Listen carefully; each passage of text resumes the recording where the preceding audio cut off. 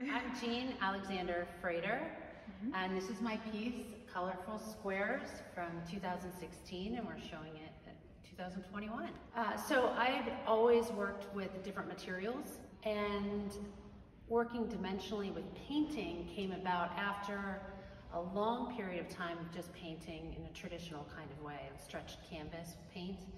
And it came about probably when I started thinking about the deconstruction and reconstruction of painting and thinking about my interaction with materials and different ways to approach the materials. Okay.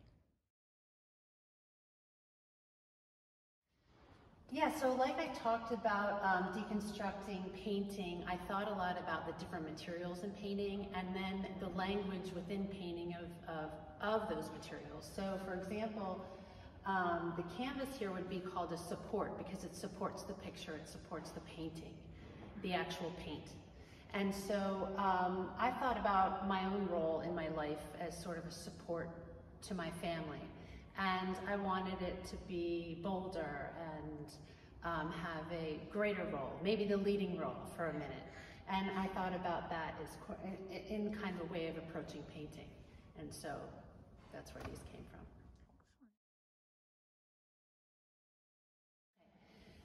So right after graduate school, I was a little bit intimidated with color. Maybe it's because of my love for it, actually.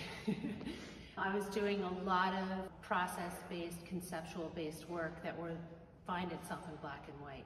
And once I decided to kind of open the doors to color, there's a lot of pleasure in it. There's a lot of choices, there's a lot of references, and I found that to be just as meaningful as the materials themselves.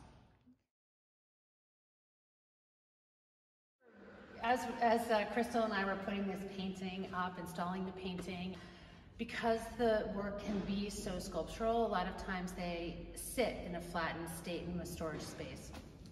And so we were opening it up, and I was reminded of a story that my studio mate had told me about she had gone to see someone speak who was in tapestry restoration Mm -hmm. And one of the things that was super interesting was she put these tapestries that had fallen apart over the years or been disintegrated in different ways into a bath.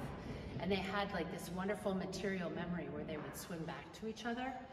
And I loved that idea about material memory because I often come across that when I'm taking my paintings again, especially these works that I would call my softer paintings, they have to kind of be expanded again. And so there's the material memory that happened from the folding and the original working.